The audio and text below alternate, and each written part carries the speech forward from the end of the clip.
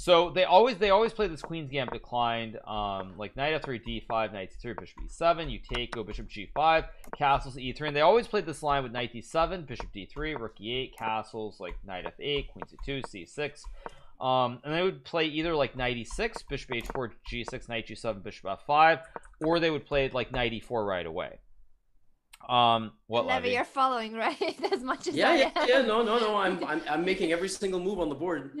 so oh, you're faster than me.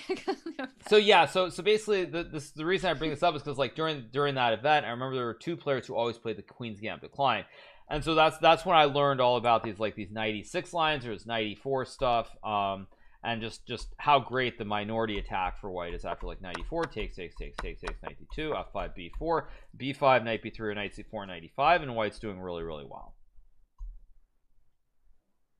Mhm.